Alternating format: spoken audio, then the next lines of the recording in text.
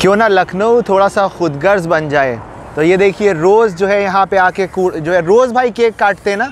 रोज़ होता हर दूसरे दिन।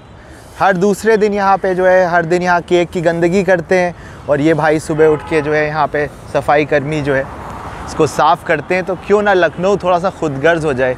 ये बात हम आपको इसलिए कह रहे हैं क्योंकि कुछ एक हफ़्ते पहले हमने न्यूज़ पढ़ी थी कि कुड़िया घाट में अब जो वेडिंग फ़ोटोशूट वाले आएँगे, इनके ऊपर दो हज़ार रुपये इनको देने पड़ेंगे जो है वो यूज़ करने के लिए। तो हमें लगा, यार, ये चीज़ गलत है।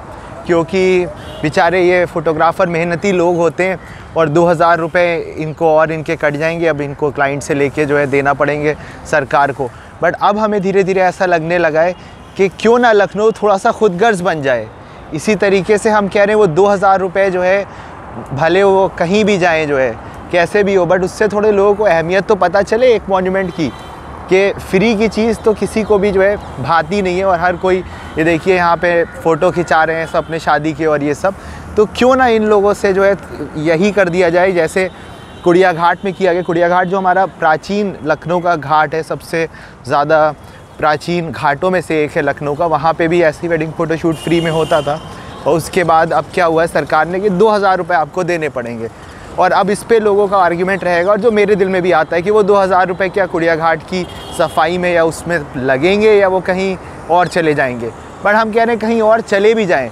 मगर लोगों को अहमियत तो समझ में आई कि कुड़िया घाट क्या है।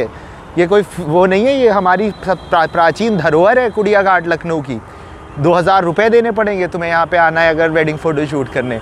इसी तरीके से यहाँ पे भी जो है अगर आगे किसी दिन हम न्यूज़ पढ़ेंगे तो पहले हम अफसोस करते थे कि यार, ये बेचारे जो है बड़ी मेहनत करते हैं, धूप में ये वो।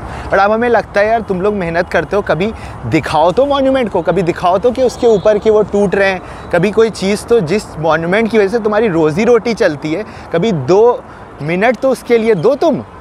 तुम लोग को लिए यार दो हज़ार रुपये ही मतलब क्या कर कर दिए जाएँ तो तब तुम लोग के जो है होश आएँगे जो है।